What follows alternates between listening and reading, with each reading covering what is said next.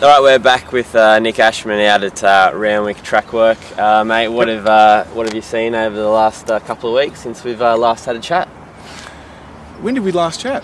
Oh, it would have been about three weeks ago, maybe. About three weeks ago. Yeah, maybe more. Maybe more. Mm. Um, well, th th there was a horse in in the autumn that I was really keen on.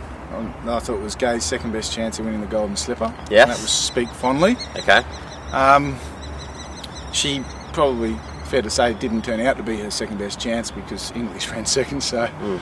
the argument could be Kate. It could be made English was the second best chance, but I definitely think this is her second best from that crop. Right. So this is the two-year-old that you've seen has um, I saw it as a two-year-old. yeah you've seen as a two-year-old and now it's sort of maturing into almost a three-year-old now. Yeah, yeah, she's almost three, Speak Fondly. So um, she was a horse that, um, as I was saying to you before, um, one day I clocked between the 600 and 400 going about 10 7, 10 8, I think. Okay. Um, which is pretty quick for a two year old. Mhm. Um, and then her overall time was about 35 for the 600 metres, I think, from memory. But um, just this morning she's run 33 and a half for her last 600. Right. Um, did it pretty you know, she wasn't she wasn't pushed out. And you've got to remember this is a horse that's isn't in the middle of a preparation. No. This is before its first up run. So um, look, hopefully she holds together. I think she's in for a really big prep. Um, I really, really like her as a horse, and if there's one horse I'd say to keep an eye on out Randwick, it's her. Okay. Um, what else can I tell you, mate? Liberty's Choice has had his nuts taken off. Yeah. Uh, he's always a bit nutty. Won't be that anymore. No. Hopefully. he's working good, but he's always worked good, so we're not quite sure what that means. Yep. Um, Vancouver's back. He's out at Trot and Canter, I think, on Saturday morning. Did a little bit of work last Thursday morning.